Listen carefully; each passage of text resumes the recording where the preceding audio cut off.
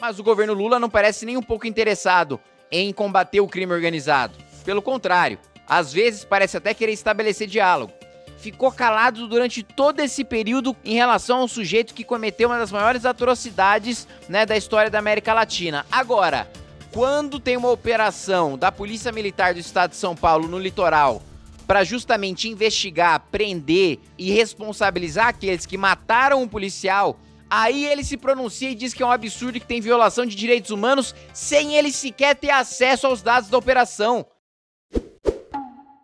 Senhora presidente, eu quero discutir aqui os requerimentos que eu subscrevi, que nós aprovamos, né, em relação é, a ministra da Saúde, né, sem dúvida nenhuma. Primeiro que é um absurdo, né, as esquerdas, o PT, o PSOL, o PCdoB, sempre falaram sobre negacionismo, sobre anticiência, sobre não ter vacina. Quando a gente tem a oportunidade de aplicar hoje a vacina contra a dengue de um país que é um parceiro nosso, histórico, que é o Japão, né, com quem eu tenho contato direto com diversos ministros e que tem a maior boa vontade de fazer né, bons contratos com o Brasil para a gente aplicar essa vacina aqui agora e salvar a vida das pessoas agora.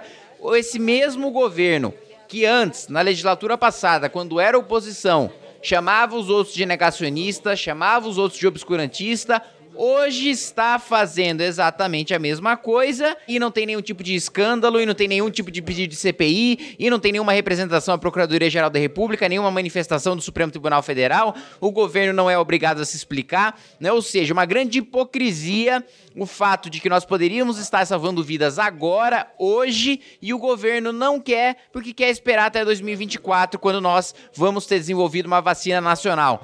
Primeiro, a gente pode e deve continuar investindo no desenvolvimento dessa vacina nacional para nós termos a nossa própria vacina. Agora, não justifica a gente ficar 3, 4 anos sem vacina só porque o governo quer esperar que essa pesquisa fique pronta, né? Em relação também à convocação do ministro dos Direitos Humanos e Cidadania, é muito irônico, né?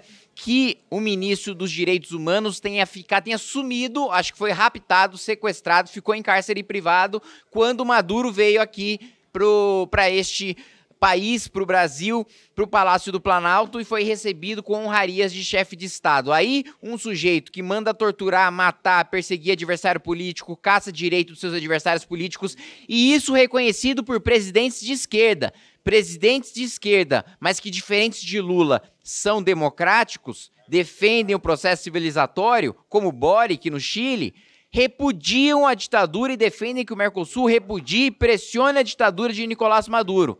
Agora Lula se nega. E o ministro dos Direitos Humanos ficou calado durante todo esse período com, em relação ao sujeito que cometeu uma das maiores atrocidades né, da história da América Latina. Agora, quando tem uma operação da Polícia Militar do Estado de São Paulo no litoral para justamente investigar, prender né, e responsabilizar aqueles que mataram um policial das rondas ostensivas Tobias de Aguiar.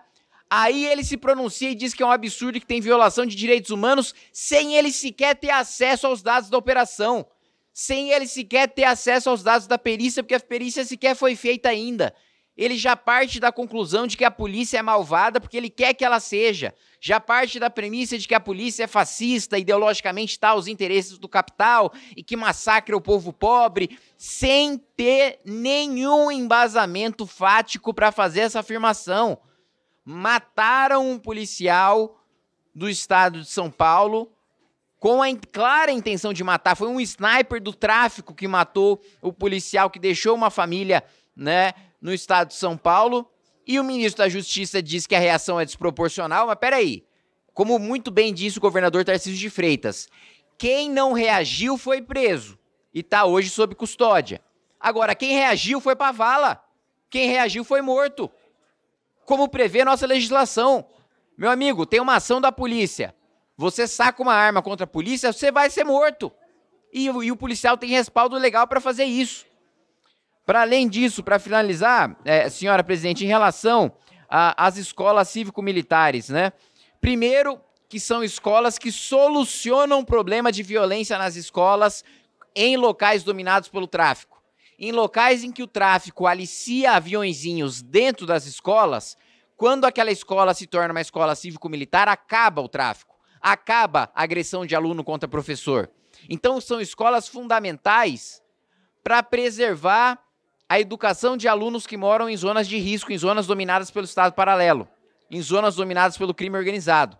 Mas o governo Lula não parece nem um pouco interessado em combater o crime organizado. Pelo contrário, às vezes parece até querer estabelecer diálogo. Para além disso, sempre que a escola é transformada numa escola cívico-militar, os pais são consultados, os alunos são consultados, a comunidade é consultada. Nenhuma escola é imposta goela abaixo de ninguém. Por isso, boa parte dos governadores escolheram manter esse modelo. Inclusive o governador Eduardo Leite, que sofreu um ataque vil, covarde e homofóbico por parte de João Willis, que é uma figura absoluta abjeta, ninguém nem sabe qual é o cargo que ele vai ocupar, só querem colocar ele no cabide de emprego, e ele faz um ataque covarde contra o governador, simplesmente porque o governador toma uma decisão de manter uma política pública que não tem absolutamente nada a ver com homofobia ou não homofobia. Portanto, é, agradeço e parabenizo o trabalho dessa comissão de ter aprovado todos esses requerimentos que eu subscrevi e que vou estar atuando e recebendo esses dados e comparecendo na convocação e no convite dos ministros também para que eles prestem esclarecimentos em relação a todos esses pontos que eu levantei. Obrigado, presidente.